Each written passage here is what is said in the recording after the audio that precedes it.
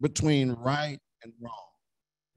For who is able to govern this great people of yours? The subject under which we will study on today is entitled, What do you want me to give you?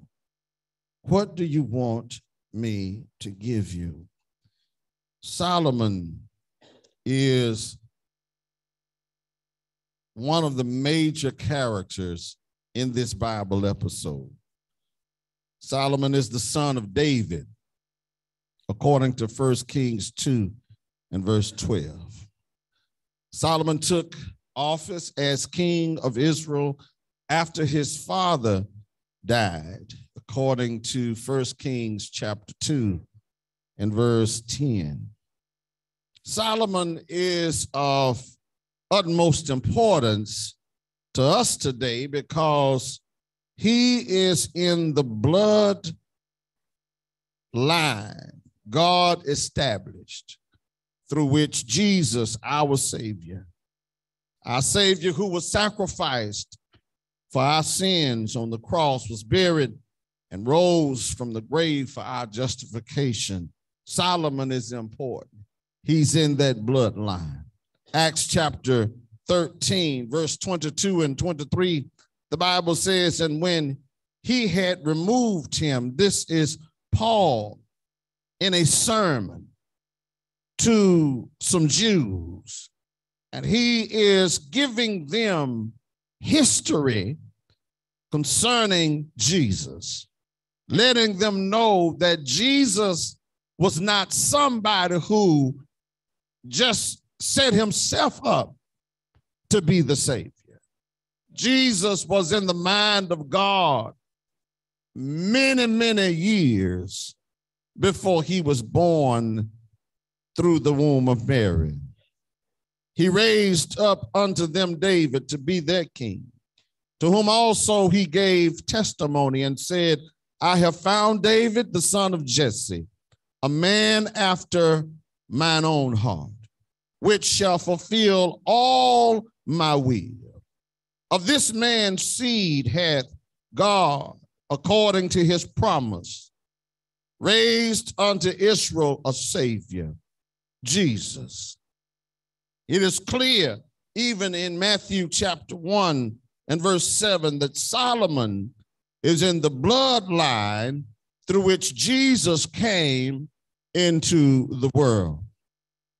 Solomon demonstrated his devotion to God in the most dramatic fashion when you read this episode. Solomon sacrificed 1,000 burnt offerings, according to verse 4. I'm looking at everybody, and when I said 1,000 burnt offerings, you didn't move. It didn't bother you because I don't believe that we can visualize the magnitude of that because we're not used to seeing that. That's something you've got to be mindful of when you're studying the Bible. There are some things in the Bible that you read that you're not used to seeing. So sometimes it can just pass over you because I don't deal with that on a daily basis. And so I really don't understand that. But 1,000 you remember they offered a lamb in the morning and a lamb in the evening. They did that every day, 365 days a year. Lamb in the morning, lamb in the evening. 365 days in the year, that's uh, 730 lambs. And Solomon offered 1,000 lambs in one day, burnt offering. They were working all day. That was all, and a whole lot of them was working in order to accomplish that in one day. A thousand. We come together for an hour or two, and we're tired and we want to go home. But they offered 1,000 lambs to God to express devotion, and thanksgiving. Somebody might have said, well, can't we just offer one for everybody? No, 1,000. Are y'all with me? That was a lot. That's a lot of animals. Can we get a thousand lambs inside this building? Can you imagine what this property would be like if you had a thousand animals on this property along with the people? That was a huge undertaking. The sacrifices were continuous, the sacrifices were extraordinary, the sacrifices were spectacular. Well, I, I want us to begin to think about doing great things for God. I believe we're used to doing just enough to satisfy us. But when you start talking about pleasing God and, and looking at what God has done for you, what we do is not enough. You need to start telling yourself, Lord, I need to do more for you. Are y'all with me? I need to sing more. I need to pray more. I, you know, I think a lot of times we say, well, Brother Fraser, you talking about giving, giving more money, giving more money. Listen, if you pray, if you sing, if you serve, you're going to see this in just a few moments. If you pray, you sing, you serve, you won't have to worry about giving. Are y'all with me? We don't prosper ourselves no way. Are y'all with me? You talking about your giving is like you made it. That's not what the scripture said that was quoted upon the first day of the week. That every one of you lay by in store as God has prospered you. We are we acting like we are prospering ourselves. Well, this is all I can do. That's not all that he did for you. That's how you ought to start thinking. What he did for you, not what you do. Are y'all with me? You you giving, and you know this, this is this is really really interesting. We'll give to folk that do nothing, nothing for us. You will give, you know, I'm gonna go on and do it. Y'all like y'all laughing like y'all done heard that before. That Joker haven't done nothing for you, giving you a pain. That's what they that's what they do, give you a pain. Every time they come around you, they tell they don't need nothing. They taking. Are y'all with me? Hey, they tell you that they need.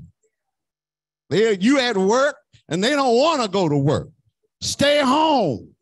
Sit around or wait for you to get home and tell you what they need. Y'all know what I'm talking about. And when it comes down to God, God is blessing you every day. Every day he's blessing you.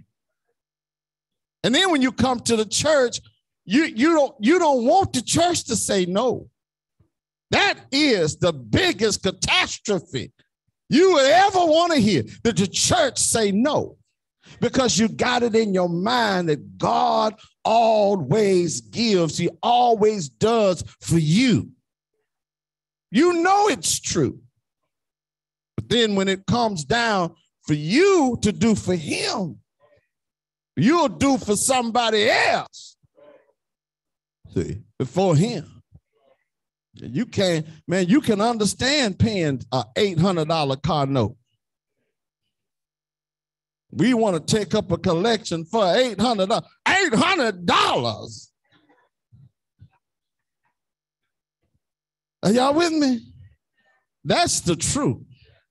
That's the truth. You can understand. Well, I guess I, you know, well, it's gonna be eight hundred dollars. You ain't put no money down on it, man. You just eight hundred dollars. Well, I guess I'll have to do it. And man, you struggle to do. But man, when you get to the Lord, man, you, I can't, I, I can't do nothing today. Huh? I can't do nothing today. And so, so, so, so we've got to start thinking in terms of continuous, extraordinary, spectacular. We got to do something great for God. We got to do something great for him. We've got to we, we, we've got to we've got to get that in our minds that I can't give God just enough. And I can't I can't gauge what I, am giving God on, on my human reasoning because God is greater than me. Flames blazed intensely, smoke filled the temple. The aroma pleased the Lord. Our text follows Solomon's tremendous demonstration of his devotion. See, what we are about to look at is what happened after the worship. Are y'all with me? You got to get this now. See, you you see see see what you are probably thinking about. A lot of us are thinking about what we're going to do after we get out of church. Some of us already have plans on what we're going to do when church, as we say it, say it, is out. Hurry up, Brother Frazier. It's 11 o'clock. Are y'all with me? Yeah, it's true. I'm not reading your mind. I just live in the same world you live in. And something happened after worship. Watch what happened. Verse number five. This is after worship. God said to Solomon, Ask for whatever you want me to give you. This question came when? Come on, y'all. When did it come? After worship. God's response to Solomon's worship was Solomon, ask for whatever you want me to give you. That was God's response to Solomon's worship. After a tremendous expression of worship and praise to God, Solomon is given by God an opportunity to ask whatever he wants. Now, the question is what is this really demonstrating? God, what do you mean, ask whatever you want? Well, is it possible that God, after seeing Solomon's tremendous expression of worship and praise, is giving Solomon an opportunity to demonstrate where his heart was truly positioned. See, the timing God uses to present this question to Solomon could indicate that one, worship captures God's attention. Worship captures God's attention. Are y'all with me? So you if you're going to be a child of God, then you've and you're going to stay in favor with God, it's not just God knowing you, you've got to know God. Are y'all with me? Then I, if you you remember when we were coming going to school and we would get to combination locks. Yeah, remember when you got to junior when you got to junior high school, that's when you got your lockers. Got assigned to your locker, your own personal locker. Had to get your combination lock. So your, your parents buy your combination lock and it's in a package. Now, in that package is the combination. Are y'all with me? Now, if you just tear the lock out the package and throw the paper away, you in trouble. You in trouble. Nobody around us had no bolt cutters. Are y'all with me? Nobody had any bolt cutters. That lock, when that lock locked, you might as well throw it away. And then you're like, so I can I can listen to it and I can get it. Didn't see it didn't it, James, James said it didn't work in his day, didn't work in mine neither. So, so if you don't know how to work the lock, the lock doesn't do you any good. If you are a child of God and you don't know how God functions with you, then the same God that you think is a blessing to you can be a curse to you as well. See, de- the devil didn't make up death. The first time you heard about death was from God. God said, The day you eat of this fruit, you shall surely die. You didn't hear that from the devil. You heard that from God. God can be good to you and God can be severe to you. So we have to know how God works. You at home, I think I'm gonna miss worship today. You don't know how God works. You don't know how God, every time you miss worship, you, that's an indication that you don't know how God works. Because God came to Solomon and asked him for whatever, to ask whatever he wanted after worship. We want to miss worship and get everything from God. And the word of God is telling us that that doesn't work. It doesn't work. It, when you go back to the Old Testament law, Exodus chapter 20, thou shalt have no other God before me. First commandment. That's about worship. You can't worship anybody. I'm the, I'm the Lord that God that brought you out of the land of Egypt, out of the house of bondage. I brought you out of bondage. You can have no other God before me. You cannot worship any God other than me. They had just come out of being in Egypt for 400 years and they had been exposed to worshiping different things. The Egyptians worshiped the Nile River. The Egyptians worshiped cattle. Egyptians worshiped the sun. Every one of those plagues that God placed upon Egypt was an indictment, him executing judgment against their gods or what they thought was gods. And when he brought Israel out of Egyptian bondage, he says, Thou shalt make unto thee no graven image. That's worship. That's worship. And then God tells them in Leviticus 26 if you uh, obey my statutes, judgments, and laws, I'm going to bless you. In other words, if you worship me according to my commandments, I'm going to bless you. But that blessing comes after. Are y'all with me? And then when we get over into the New Testament, Matthew 4 and verse 23, uh, Jesus says, The hour is coming, and now is when the true worshipers shall worship the Father in spirit and in truth, for the Father seeketh such to worship him.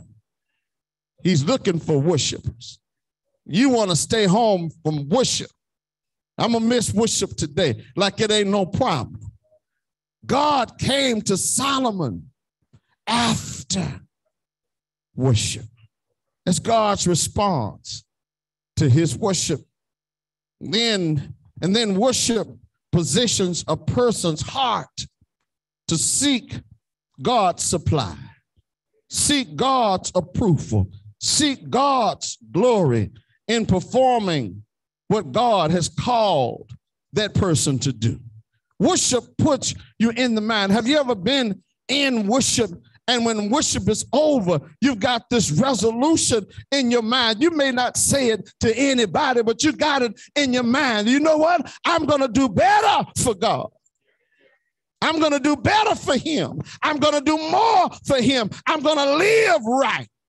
Have you ever been around someone and they come out talking crazy after worship and you know, you just got out of church? What are you what are you suggesting? Since you since you've been in worship, you should be thinking better than that. Worship positions our heart to seek God more, depend upon Him more. Jesus, Jesus, how I trust him, how I prove him or and or Jesus, Jesus, precious Jesus, all for grace to trust him more.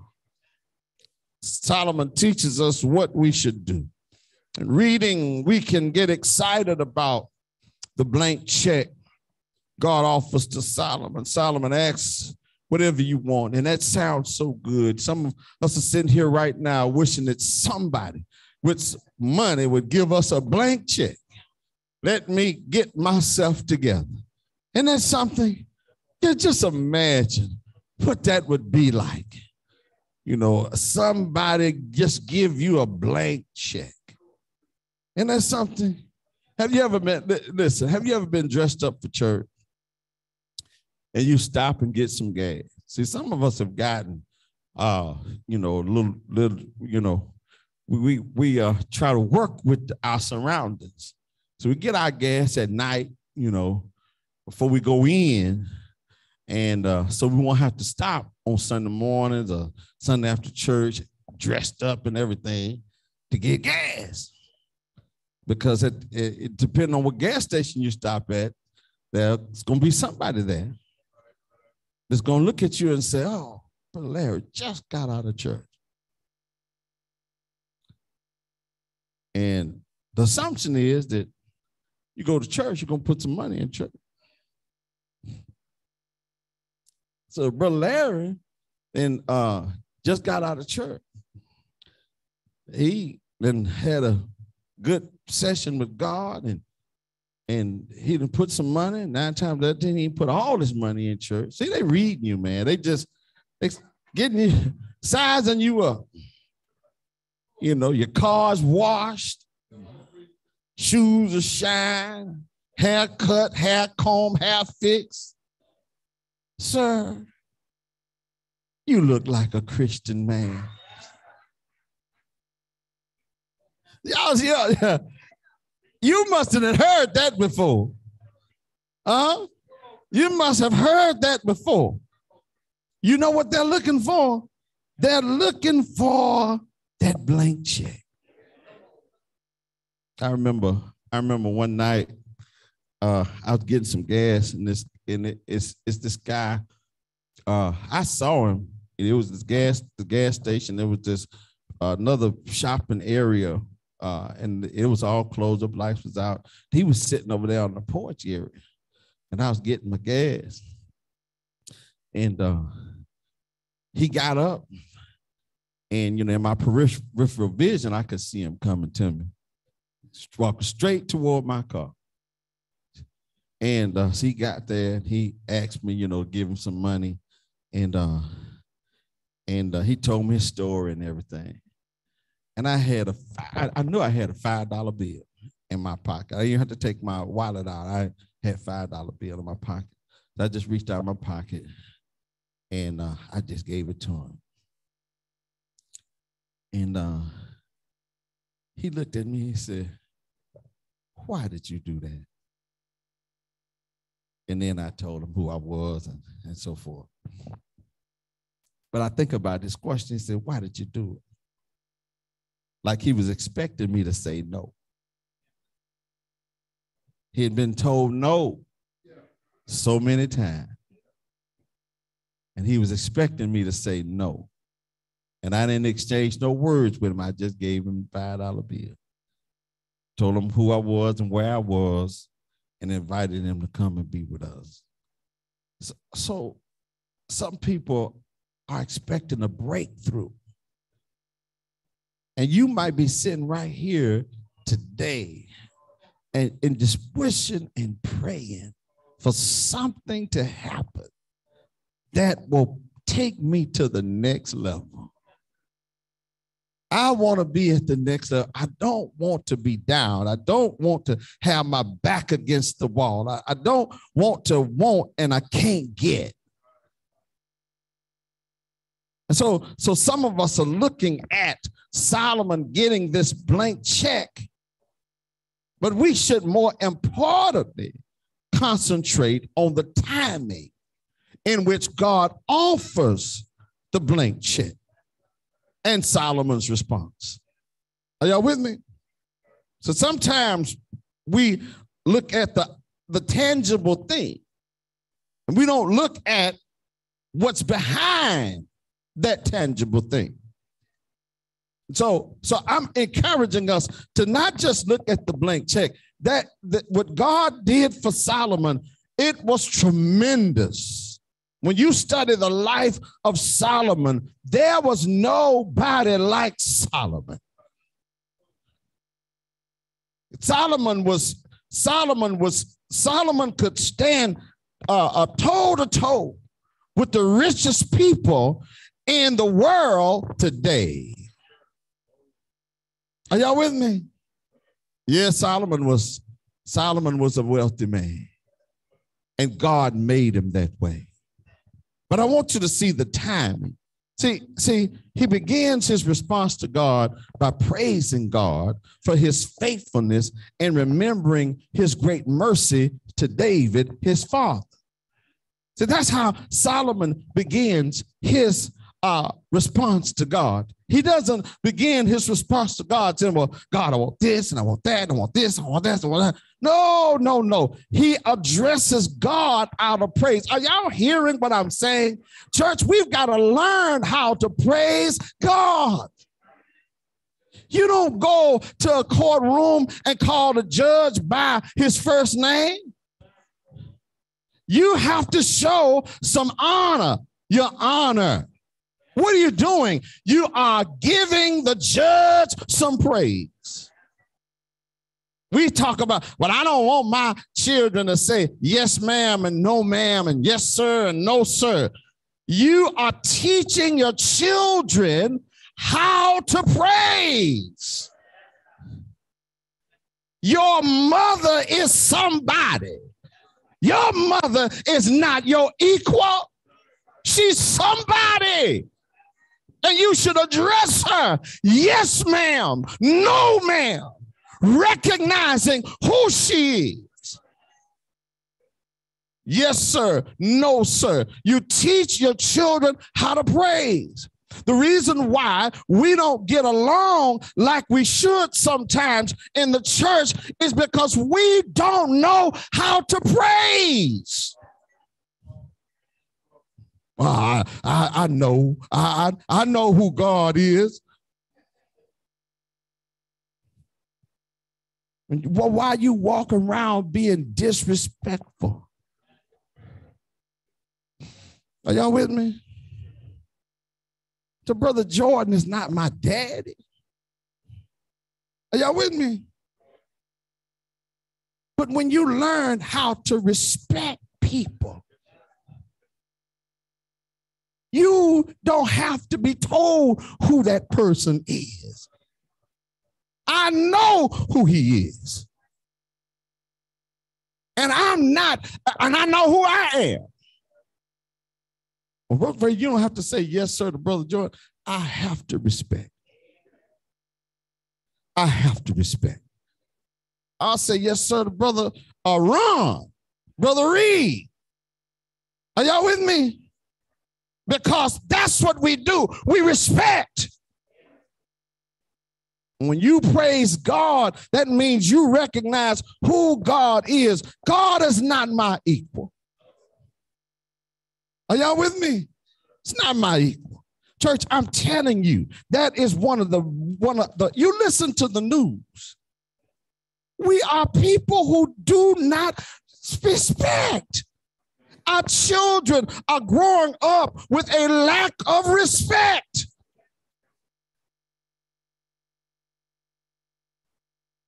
And Solomon started with praising God. says, You have shown great kindness to your servant, my father David. He's recognizing his father. I wouldn't even be here if it wasn't for my father. I wouldn't even be in this position if it were not for my father. Are y'all with me? Man, that's some kind of humility. That is some kind of now. See, Solomon. See, now, now Solomon was. Uh, you gotta understand that Solomon had gone through some stuff. Now, see, Solomon. See, when Solomon um, became king, he became king at the death of his father.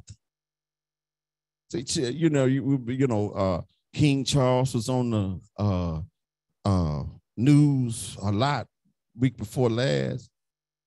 And I was just looking, I was just looking at that, and I'm saying, man, that had to have been something. His mama dies, and they putting a crown on him. Man, wait, wait a minute. My mama just died, man. They didn't waste no time. Are you with me? He's got to mourn his mom and take over the position of king too. Well, well, Charles ain't the only one that had to do that. Solomon had to do that. Are y'all with me? Solomon was mourning his daddy and taking over king. But not only that, when he takes over king, his brother desired the throne. Are y'all with me? So now he's got his dad is gone. He got the responsibility of the king. Then he's got one of his siblings trying to get him out of the way so he can be king. Are y'all with me? But look at this. His daddy told him, he says, now, everybody that's not faithful to you, you got to get rid of them. Now, now, now watch this, y'all we fire people. Huh? you fired. Solomon didn't fire him, Solomon didn't fire nobody. Solomon, Solomon created some funerals. Are y'all with me? That's a big difference. So Solomon, Solomon was carrying some stuff. He had to get rid of, and I mean get rid of them. Some people, he had to get rid of his brother. He had to take on the responsibility of being the king and mourn his daddy's death. But yet, when God comes to Solomon, Solomon says, You have shown great kindness. Out of all of that, Solomon knew how to humble himself before God. I tell you, we go through some stuff. Yeah, you can say, Brother Faze, you don't know what I go through. I, and I don't. I don't. I'm not begging you to tell me. We'll pray together if you want to, but if you don't want to tell me, that's okay. Because I'll have your stuff and mine too. Are y'all with me?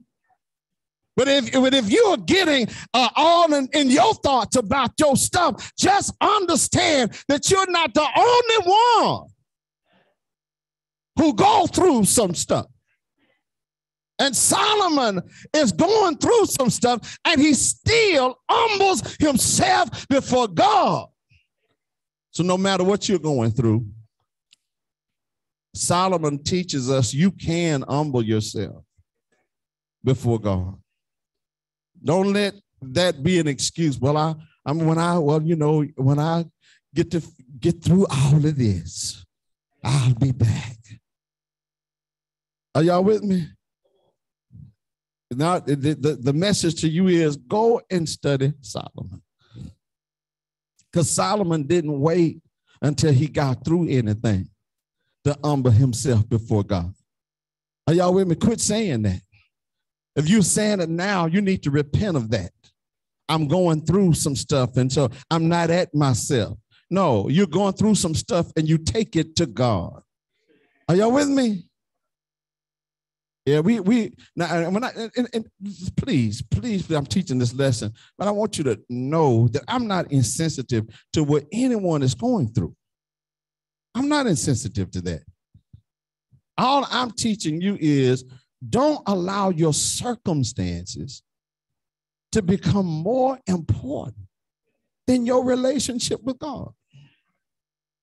The Bible says, cast all your cares upon him, for he cares for you. I perform open heart surgery on myself. Then I'm gonna make a doctor's appointment. Well, doc, I just came in to see you. Well, what you what you here for? You didn't already did the surgery. All you need to do is is uh, take care of yourself. Are y'all with me? You don't go to the doctor when you done already healed yourself. Are y'all with me? So I'm going to get it straight and then I'm going to come to the Lord. That's just like doing your own open heart surgery and then going to the doctor. Makes absolutely no sense, does it? Brother, bro, I tell Brother Larry, Brother Larry, I done, I didn't, I didn't replace mine and took my transmission out, rebuilt it. It's running fine. I'm gonna bring it down there to your shop and let you check it out. what you bringing it down here for? What you done bringing it down here for? You done already done everything that needs to be done. If you can straighten yourself out, then my question is, why are you still here? You need to be on up in glory. Are y'all with me? Yeah. So when you have circumstances, bring them to God. Humble yourself before the Lord. Humble yourself in the sight of the Lord. That's the song. He will lift you up. That's right. So, so, so Solomon, Solomon believes that God is worthy of praise. And he uses a terminology that's not normal, that's not normally used. He says, he says, you have continued this great kindness, great kindness to him and given him a son to sit on his throne this very day. Solomon says that God showed great kindness, great mercy. See, Solomon views what God did for David as great. And so he humbles himself and he offers, he worships, he his worship is compatible to his view of God. Boy, don't let that fly over your head. Don't let that fly over your head. See, God is great because of his view of what God has done. If what God has done is great, then your view of God is great. Are y'all with me? So, so, so Solomon, Solomon praises God. And not only does Solomon praise God for his great kindness toward his father, he also praises God about his people. Because Solomon says he calls God's people great people. Great people. Now, now understand something about the children of Israel. The children of Israel had forsaken God many, many times. They have a king now because they wanted to be like other nations. And God told them in Deuteronomy chapter 7 the other nations are going to turn your heart away from me. So Solomon is sitting in the seat of the kingship of Israel because the children of Israel did not want to accept God as their king. Are y'all with me? And yet Solomon calls God's people great people. Understand, you, we're not great people in the church because we do all the things we do in a great way. We're not great people because everything that we do is right.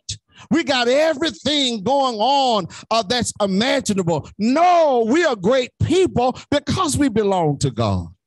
That's what makes us great people because we belong to God. I'm a work in progress. You are a work in progress, but we are great people only because we belong to God. Somebody's got their head down because they're feeling like they're no earthly good because they're so uh, messed up with what they do. I did this wrong. I did that wrong. I do this wrong. I do that wrong. Understand, you're never going to be great in and of yourself. You're great because of your connection with God. Your grace and mercy brought me through. I'm living each moment because of you. I want to thank you and praise you too, because your grace and mercy brought me through. You looking at somebody and they're doing something that you're not doing, don't turn your nose up at them You need God's grace and mercy too. You may not be doing what they're doing, and what you're doing may not be public, but you need God's grace and mercy too.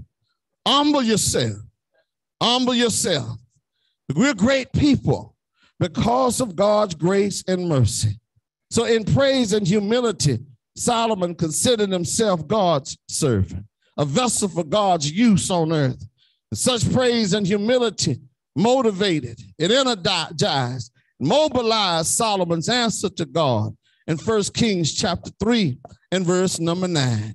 Solomon says, So give your servant a discerning heart to govern your people and to distinguish between right and wrong. For who is able to govern this great people of yours? Solomon's answer to God teaches us that worship that focuses on God's greatness, God's mercy, God's favor positions our heart to yearn to live every moment of life being able to fulfill the calling to which God has called us. When our heart is in such a position, God is pleased. When you position your heart to want to do what God has called you to do every moment of your life. See, Solomon says, So give your servant a discerning heart. Let me ask us a question. How many days of the week do you have your heart with you? Have you ever walked out to go to work and said, Oh, I got to go back home and get my heart? You don't go nowhere without your heart. Are y'all with me? How many hours of the day is your heart with you?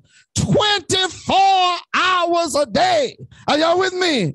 Your heart is with you when you're asleep, and your heart is with you when you are awake. Are y'all with me? Solomon says, Give your servant a discerning heart.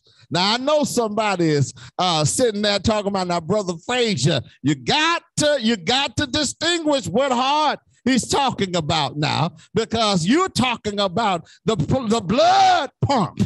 Are y'all with me? Are y'all with me?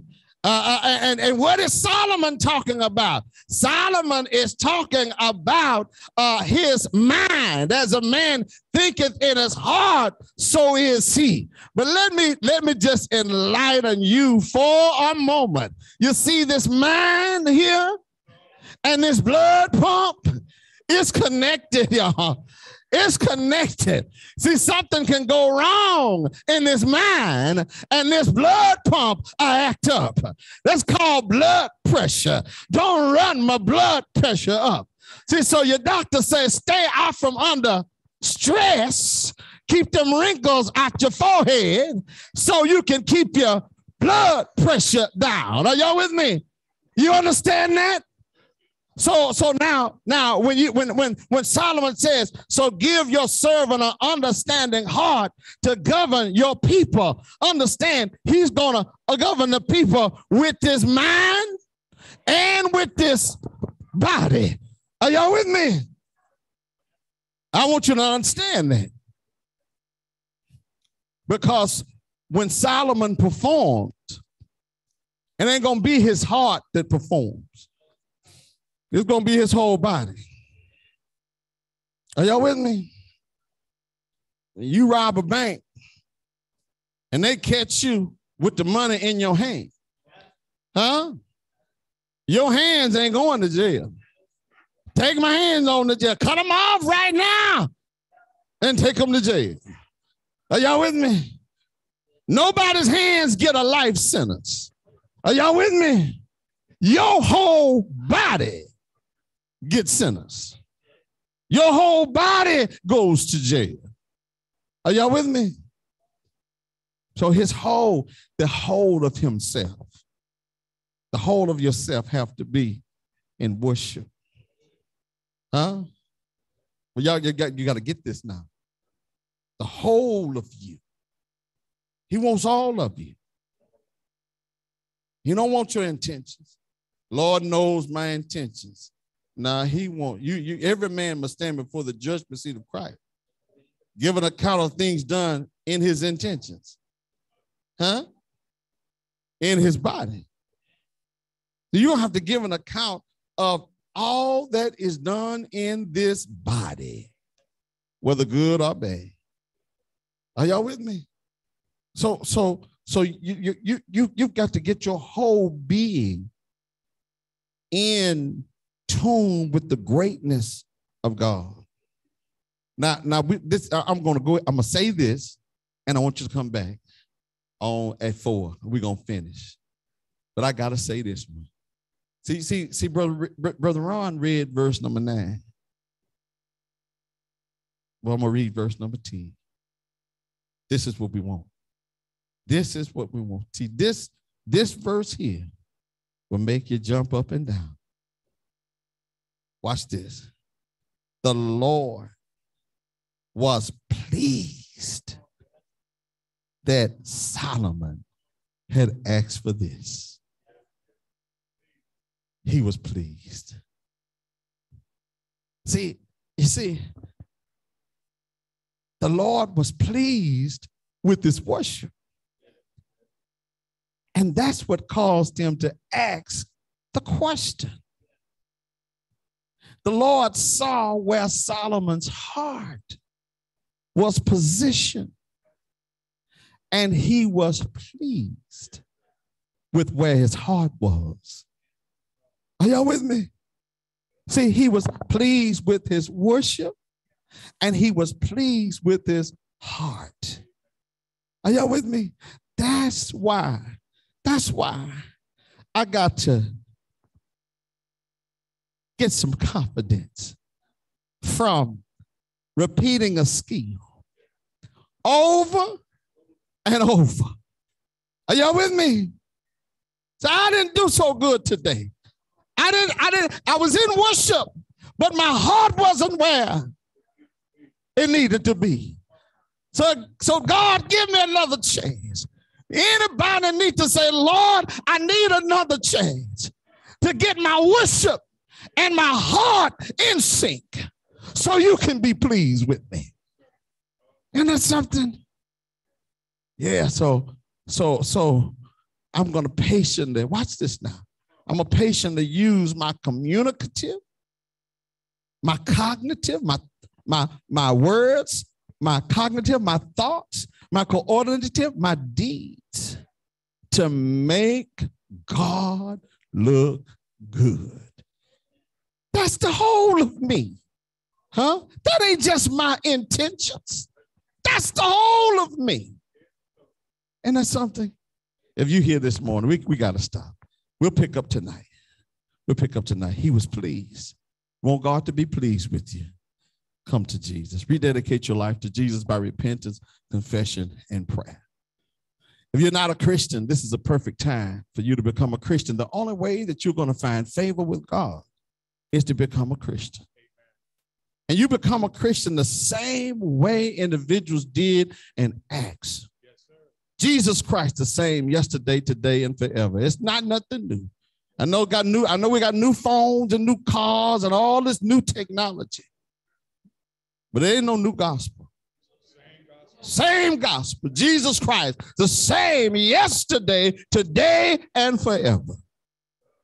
Same gospel. He died for your sins.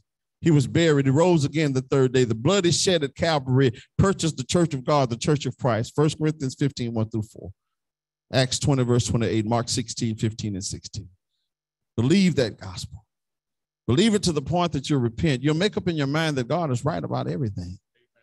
That's what Solomon was. Solomon, Solomon was, he, he believed that God was right. In First Kings chapter 3. Yeah, he believed God was right. You must believe that God is right about everything. Acts 2 and verse 38. Confess Jesus, Acts 8 37. We'll baptize you. All your sins are washed away. Everything that you've done, thought, or said yes, will be washed away. And the Lord will allow his blood to cleanse you going forward. He'll add you to his church. Acts 2 and verse 47, he'll add you to the church of Christ. Romans 16 and verse 16. This is your opportunity. Will you come? Come right now as we stand and sing.